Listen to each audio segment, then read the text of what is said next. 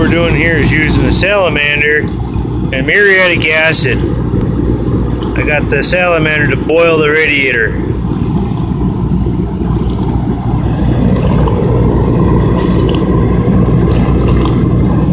Careful the acid don't get on us here. Got the extra acid running down in the trough here. Here's a jug of uh,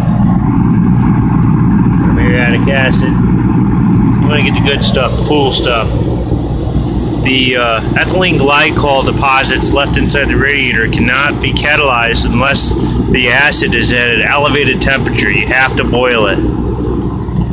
So you run the salamander against it and let it boil. It can't get hot enough to melt the solder with the liquid in it, but be careful you don't walk away from it. You must monitor it all the time. When I get done, this thing should be clean as a whistle.